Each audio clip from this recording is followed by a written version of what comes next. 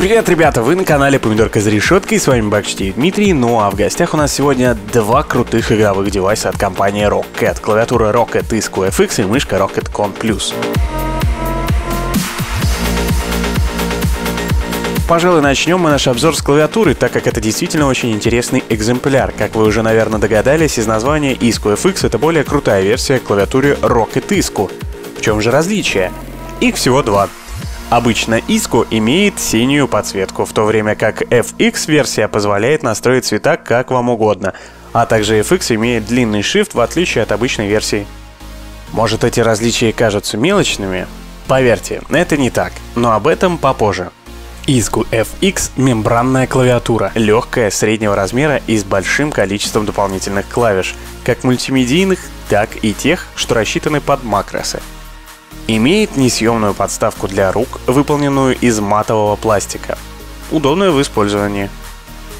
В отличие от большинства мембранных клавиатур, Иску имеет довольно жесткие клавиши, ход которых сильно напоминает механику. Да что уж там, клавиатуру легко можно спутать с механической, если не знать заранее, что она мембранная.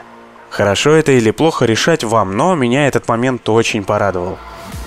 Однако жесткость клавиш далеко не главное отличие FX от других мембранок. Данная клавиатура поддерживает до 12 одновременных нажатий, а это уже серьезный плюс, ведь именно это ценится в первую очередь в более дорогих механических клавиатурах.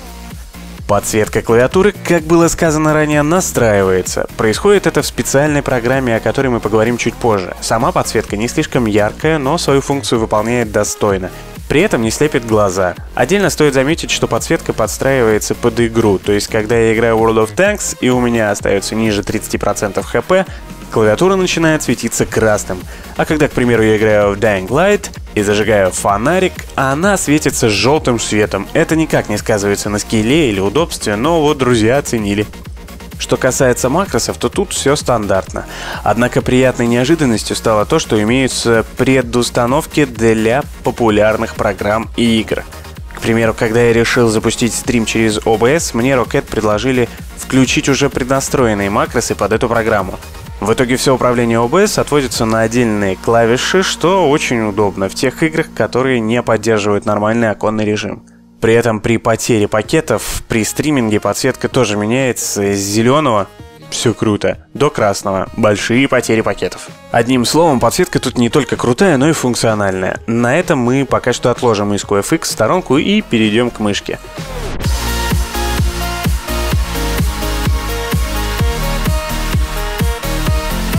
Rocket Con Plus — это улучшенная версия предыдущей модели Rocket Con — она обладает все той же эргономической формой, но отличается практически во всех остальных ключевых моментах. А именно, блок прокрутки был переработан, кнопки настройки, чувствительности и вызовы меню стали прямоугольными, а само колесико обзавелось зубчатым рельефом.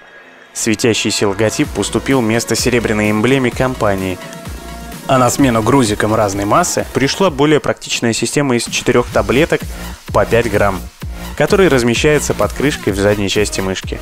Эти самые грузики при ненадобности можно хранить в специальном футляре, который идет в комплекте с мышкой.